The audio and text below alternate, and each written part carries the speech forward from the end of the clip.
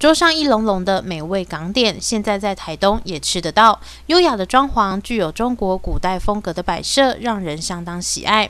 最重要的是，这个位在台东正式区的饭店推出了自助餐吧，还有请到了承袭正统港式做法的大厨，相信口味不会让大家失望。我们在二楼的好野中餐厅，它提供的就是港式港系的这个餐食。那它从港式点心开始，到粤菜提供，到例菜，甚至到大菜，在包厢服务。或者是散桌服务，我们都是跟这边都是有相关的连连连带性哦。对，我们在一楼的部分提供了大概座位数两百二十个座位的阿里海自助西餐厅。那这个餐厅提供的是早餐、午餐还有晚餐的服务，那都是自助式的。那未来也会发展到呃某些时段可能会有下午茶提供。